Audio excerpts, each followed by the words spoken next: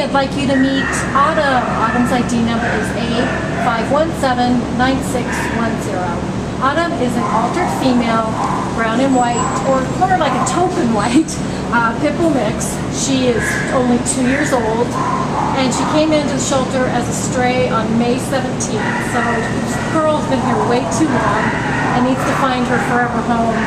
Um, she weighs only 57 pounds, so she's a great weight. Um, She's really overwhelmed here at the shelter. Um, she's pretty shut down, uh, very shy, but also very sweet. Uh, one of the days that we had that were super hot, I was able to walk all the way into her kennel and drop off a bunch of ice for her. And uh, she's just, you know, she. I think she's a dog that is smart enough and sensitive enough to know that she is not in a good space.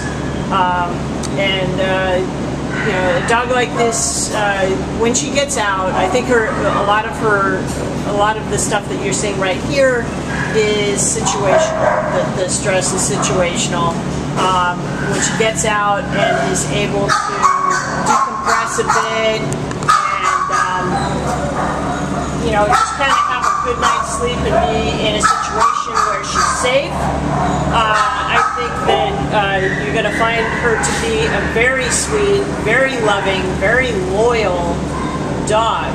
Um, probably one of the most loyal dogs you're ever going to have. So uh, come on down and meet her if you if you are willing to uh, to do the work that it's it's going to take to bring out her personality.